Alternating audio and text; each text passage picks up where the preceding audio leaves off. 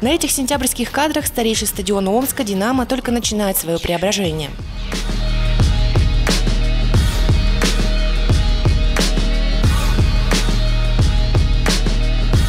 А эти съемки сделаны в начале октября.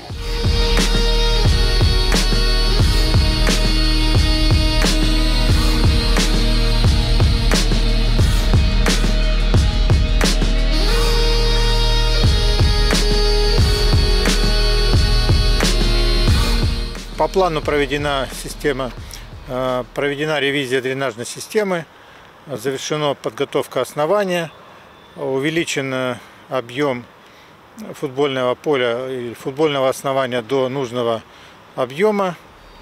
Ну, в общем-то, идет все по плану. Сегодня новый газон уже радует глаз посетителей стадиона, а воспитанники футбольной школы «Динамо» с нетерпением ждут, когда же смогут опробовать его в деле.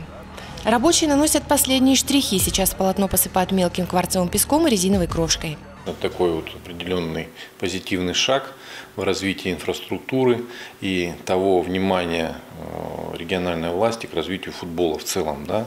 Место для тренировок, место для соревнований по футболу позволит и нам э, более качественно проводить и тренировочный процесс, э, и нашим партнерам из Центрального совета Динамо, отделение Динамо по Омской области, э, свои мероприятия проводить на обновленном э, стадионе. Вот. Конечно, очень э, хорошо, что на сегодняшний день неплохие результаты показывает футбольный клуб «Иртыш», что тоже как бы после чемпионата мира, да, проведенного в нашей стране, является таким хорошим примером по привлечению ребятишек, молодежи к регулярным занятиям футболом, ну и к регулярным занятиям спортом.